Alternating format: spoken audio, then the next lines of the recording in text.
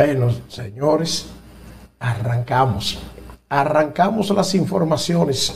Señores, cuando la naturaleza está pendiente, la República Dominicana ha advertido en varias ocasiones que es un peligro el canal que están construyendo los haitianos en el río Masacre.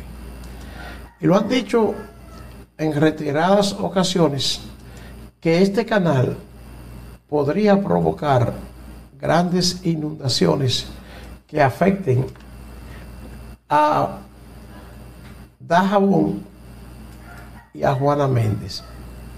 Pero no han recibido, no han recibido la debida atención a esta advertencia que han hecho. Y ahora se informa que hay preocupación porque cuando llueve y el río baja hondo, como decimos en República Dominicana, cuando las lluvias provocan inundaciones o provocan crecida de los ríos, cuando sucede esto, en esa zona viene el problema. ¿Y cuál es el problema? Que se tienen que paralizar los trabajos. Que se tienen que paralizar los trabajos porque el río pasa reclamando su terreno allá en el canal que se construye en el área de Juana Méndez. Y precisamente ha llovido en Dajabón, hubo una crecida y ahí está el problema. Ahí está el problema que el río penetró al dique que están construyendo en Haití y afectó el trabajo del canal que se está haciendo en esa zona. Las fuertes lluvias registradas en la parte alta de la provincia de Dajabón ocasionaron la, crecida del río Masacre, afectando los trabajos de construcción del canal que se edifica en la localidad de Juana Méndez, en Haití, tras ingresar agua a la obra donde funcionaría el dique de toma.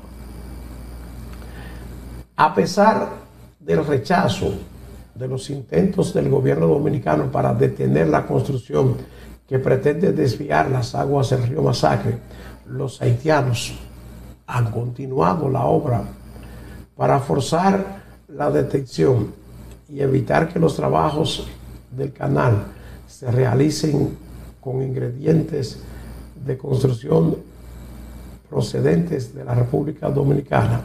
El presidente Abinader dispuso el cierre de los pasos fronterizos con Haití y prohibió la exportación de materiales para la construcción a Haití. Según las autoridades, la construcción del canal viola el Tratado de Paz y Amistad Perpetua y Arbitraje de 1929, el Acuerdo Fronterizo de 1935 y el Protocolo de Revisión de la Frontera de 1936. Miren, lo que han dicho mucha gente que vive en la zona de allá, de Dajabón, es que cuando el río Masacre haga una gran crecida como la que él sabe hacer, borraría el dique y el canal que están construyendo los haitianos. Eso dicen allá en Dajabón. Y ya hay problemas por las inundaciones que ha provocado en el dique esta crecida del río Masacre. Y dicen además que lo que está pasando ahora mismo es solo un aviso de lo que podría ocasionar el río Masacre con una de sus crecidas en ese canal. Y es una de las advertencias que ha hecho el gobierno dominicano de que la forma en que los haitianos están tratando de represar este río en esa zona es un peligro, porque eso podría provocar una gran inundación en Juana Méndez y en Dajabón.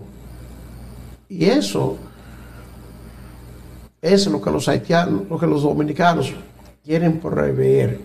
Pero los haitianos no han entendido o no quieren entender de que ciertamente la construcción del canal podría convertirse en un peligro para esas dos ciudades, Juana Méndez de Haití y Dajabón de República Dominicana.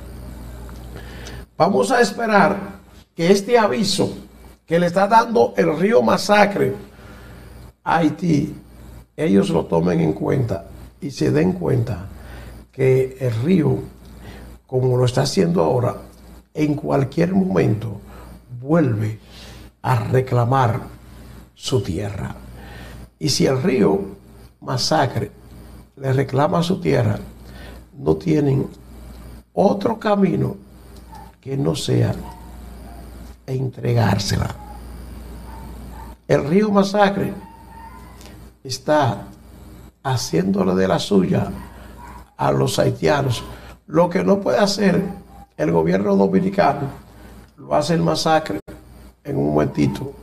Una crecida del masacre obliga a paralizar los trabajos y, y asusta a los constructores que ven cómo este río crece, crece y crece y baja con fuerza y reclama, por aquí no es, por ahí voy yo.